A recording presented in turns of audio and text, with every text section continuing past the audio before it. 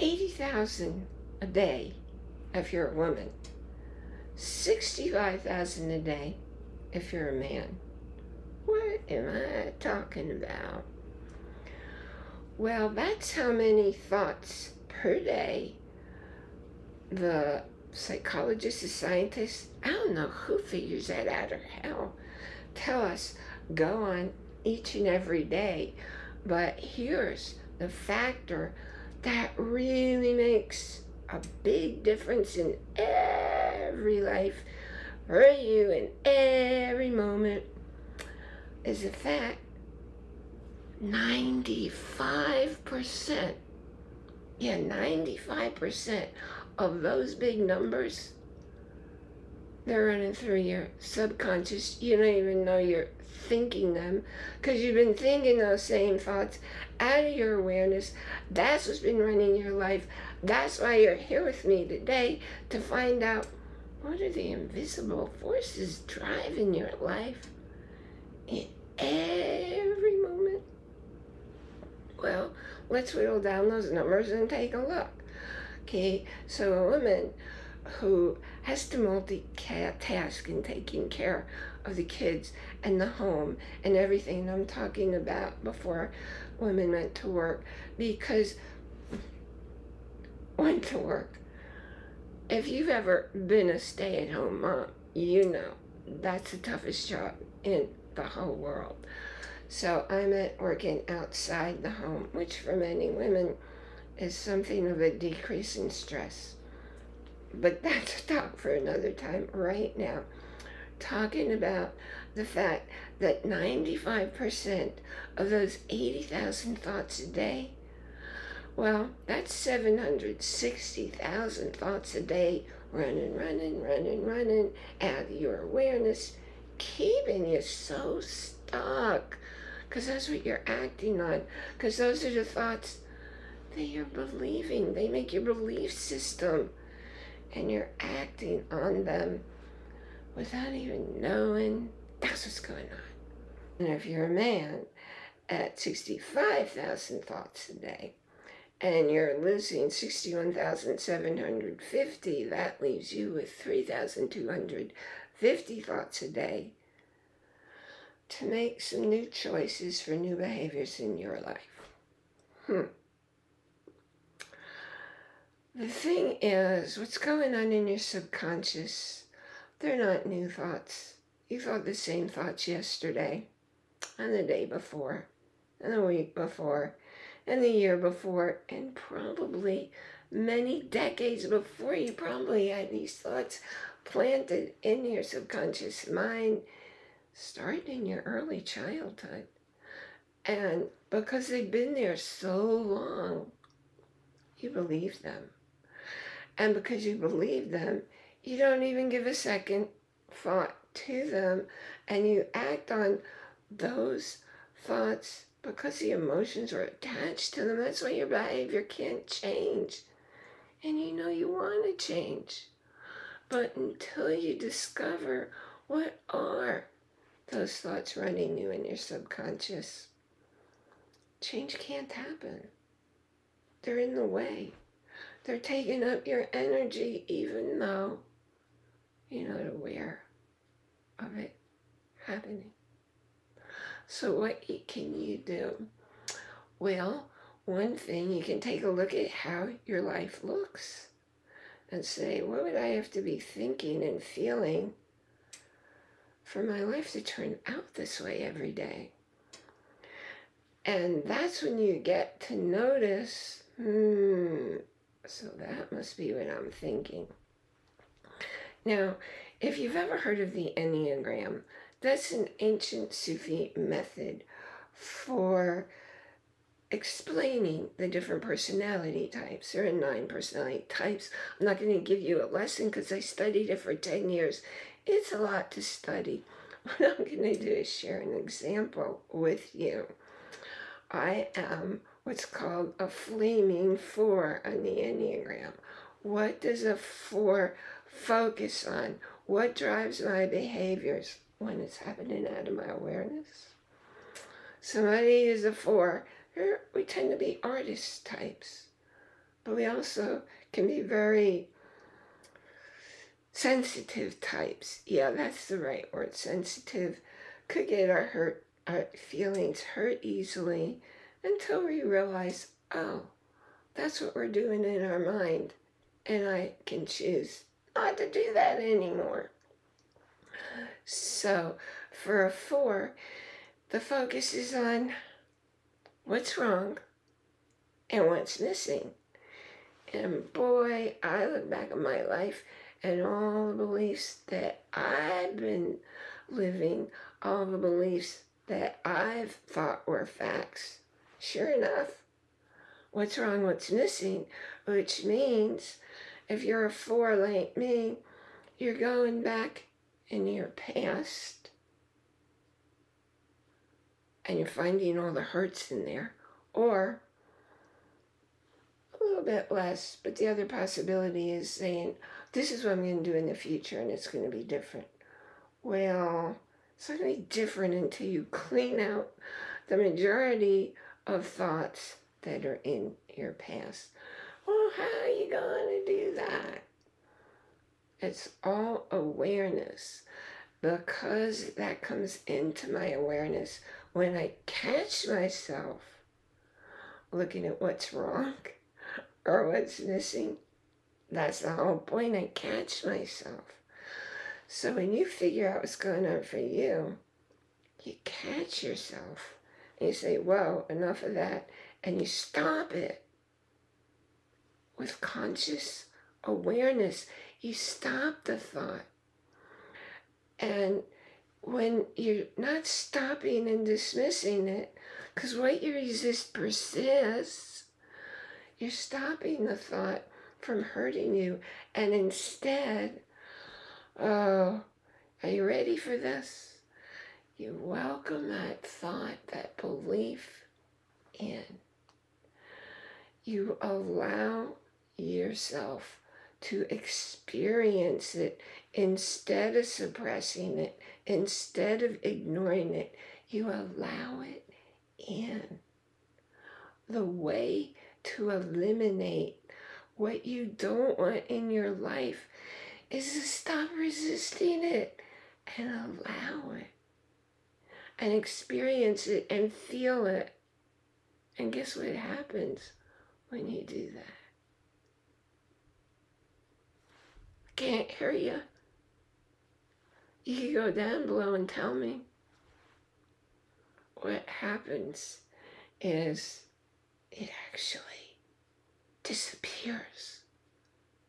Not just for the moment, but permanently. And the reason for that is you don't have one single thought like that.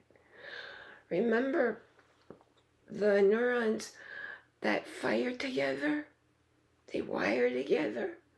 So you could have hundreds, you could have thousands of thoughts connected to the one you just discovered. So when you allow it in, when you experience it, and you actually are able to eliminate it because you stopped resisting it, hundreds, maybe even thousands of thoughts in the same line, in the same genre, is that the best word there? They'll all disappear. Not temporarily, they'll all be gone.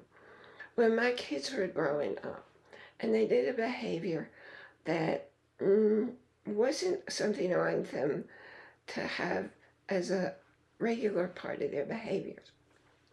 So I grabbed them and I'd hug them so tight and I would tell them, we're squeezing out the monster because that's not you that's doing that behavior.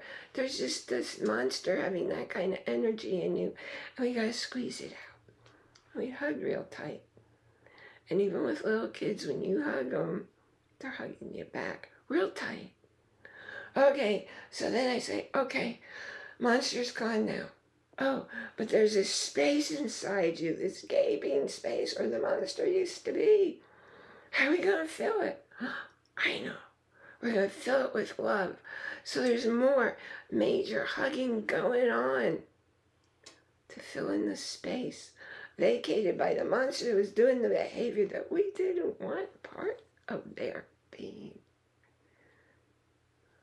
So it's always, and do this for yourself, and always separate a behavior, which is just a pattern, which is just a habit, from who you are.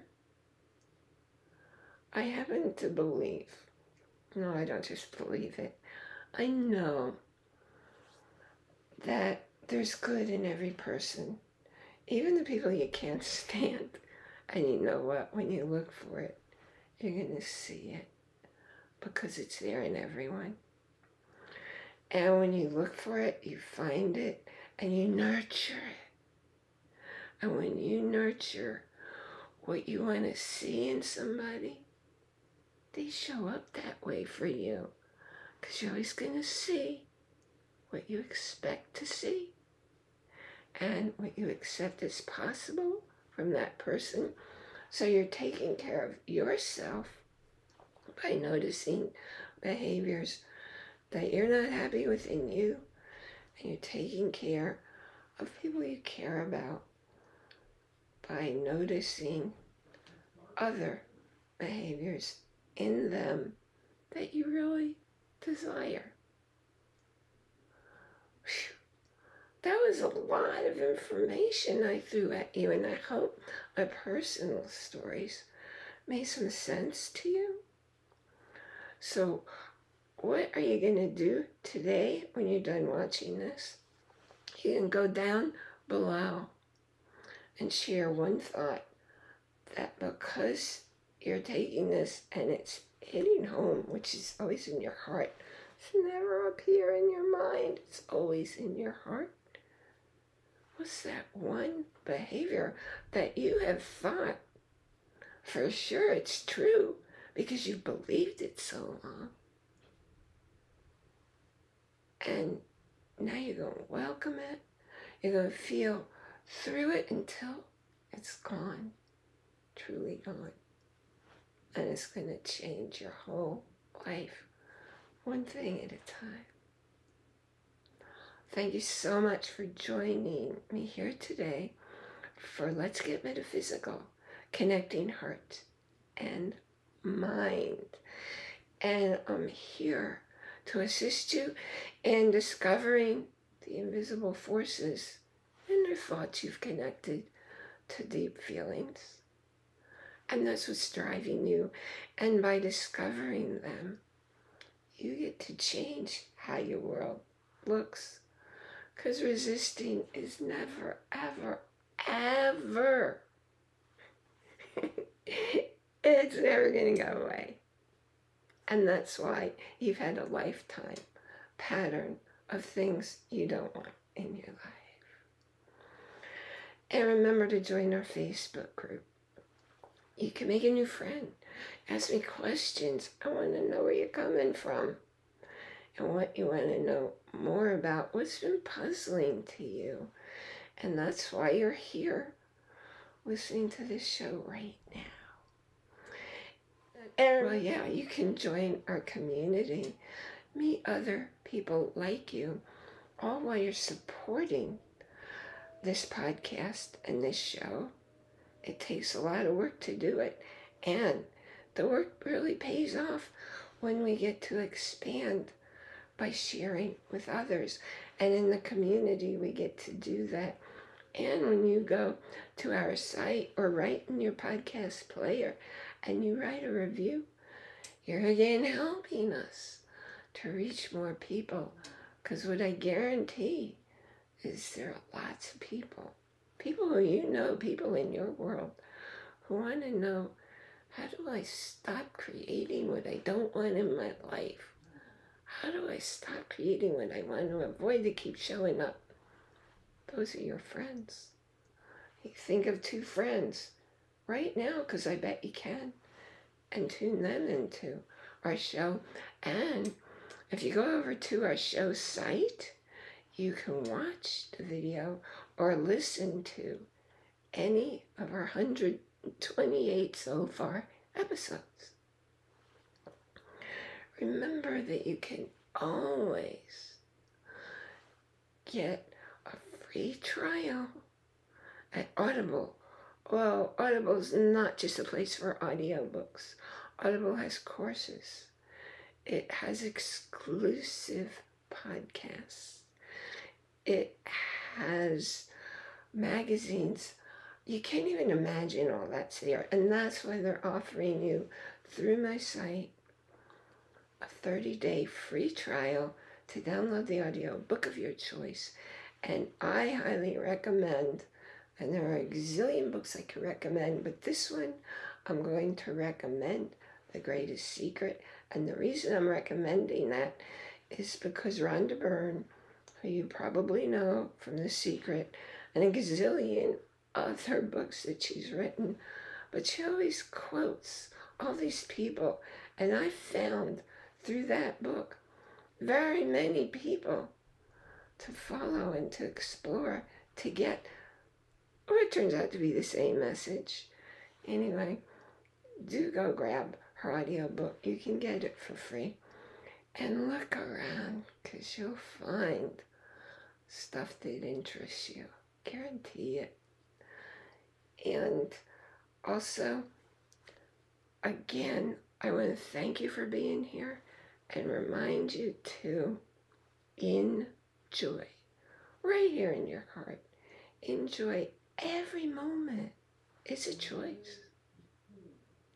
And that's capital I N, capital J O Y, because it's inside of you that everything happens.